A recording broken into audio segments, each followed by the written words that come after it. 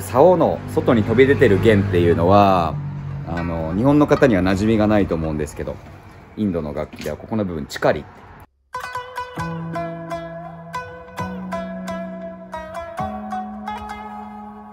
三味線のジャックジャック in the world. はいナマスカー、えージャック・イン・ザ・ワールド今日は、えー、と2023年の2月20違う間違えた。2月 4日でございます、えーいよいよ新しい楽器がこの世に誕生しました。ベニヤさんからご連絡をいただきましてチカリというねそのタイミングを取る弦2本プラスすなわち合計6本の新しい三味線が出来上がりました。ベニヤさん入店してみたいと思います。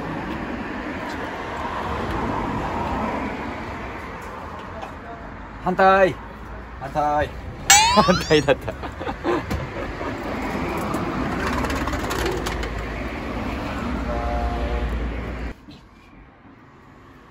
でこう三味線屋さんってねこの皮わざと貼ってない状態で売ってらっしゃるんですね。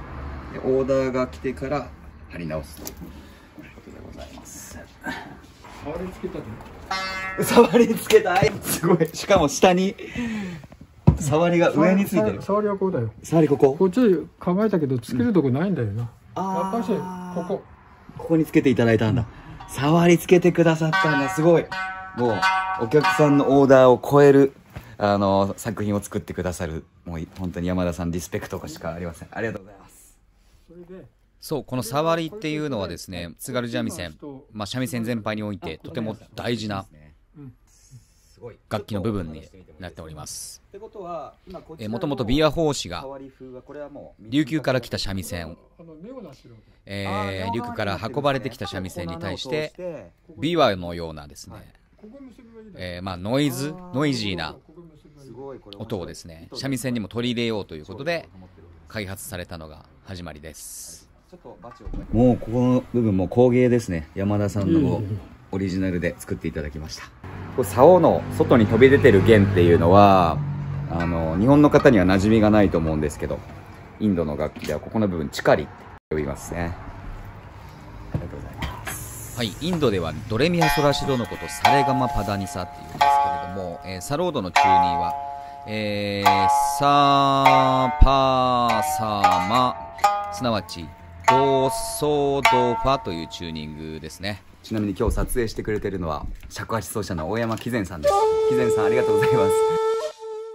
これおそらくインド人もびっくりなんじゃないでしょうか。インド人もびっくり。よしだんだんチューニングが整ってきました。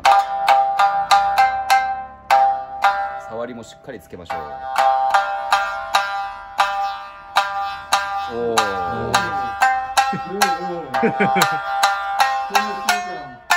共鳴してる。これチューニングをねもっとしっかりするとねもっともっと共鳴が広がります。おおすごい。うわーシタールの音が三味線からして。るじゃあチューナーを外して演奏をちょっとデモ演奏してみたいと思います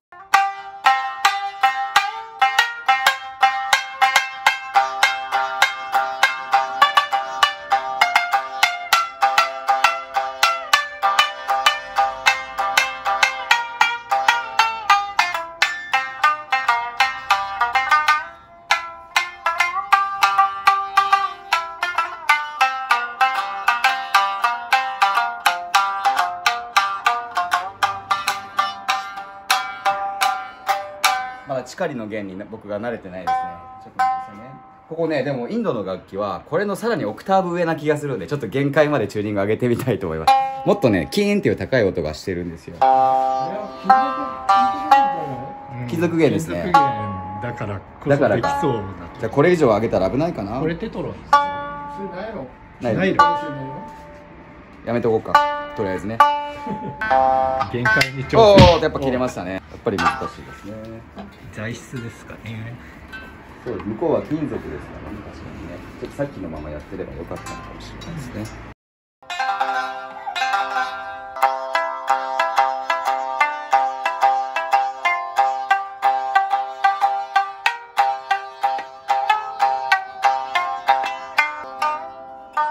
ちょっと余韻を残すゆっくりな演奏も一回やってみたいと思います。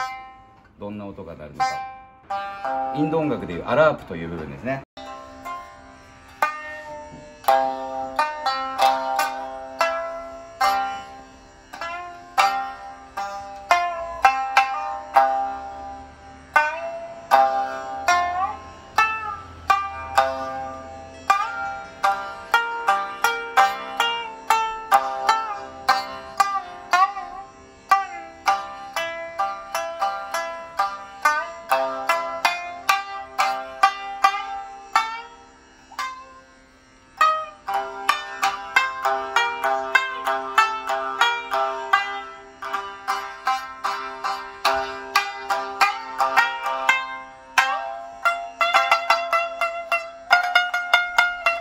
音楽の古典音楽ラーガと、えー津軽三味線の共通点には、まあ、即興というキーワードがあるんですけれども、えー即興は即興でもインドのラーガには様々なルール、まあ、ムードというんですか、えー一音一音に、えー時には哲学的な、えー時にはスピリチュアルな、えー意味が込められているわけですね、まあ、その中で即興演奏が行われていくわけですが、えー私は今このようにね、えー適当に演奏をしてしまっております、えーインドでパールそしてラーガこの2つをしっかり体で感じて学んで、えーより深い即興演奏説得力のある演奏できるように頑張りたいと思います。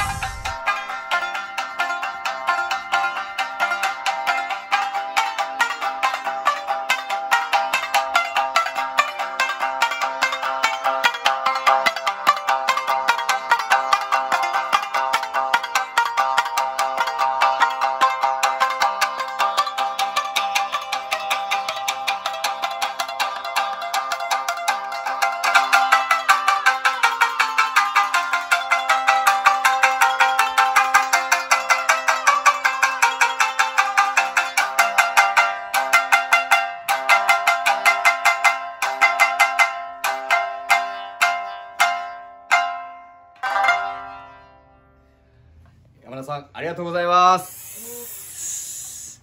えー、とても可能性にがこの中に無限に込められていると思いますのでインドでしっかり修行していきたいと思います。山田さん改めてありがとうございます。大山君もありがとう。